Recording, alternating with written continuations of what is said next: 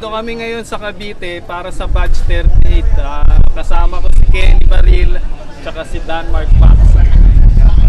Hi guys, bali, nag-uumpisa na yung seminar natin para turuan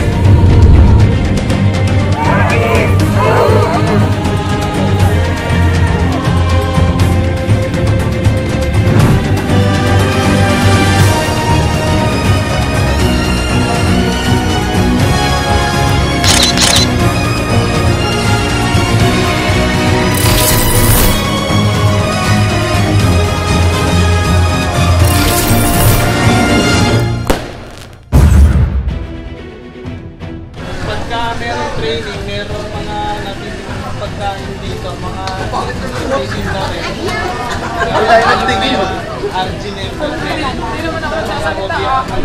rider natin. Ayan. Ang ganda niyan. Yan.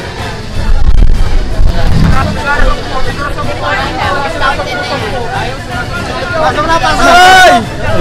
Sir Jobs, taga Marikina.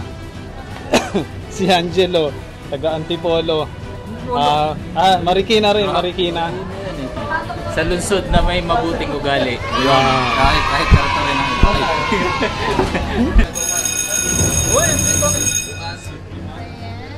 Ikaw nga, ikaw tol, subukan. Subong ba oh? Ayaw daw, wala. Mamaya pag uwi.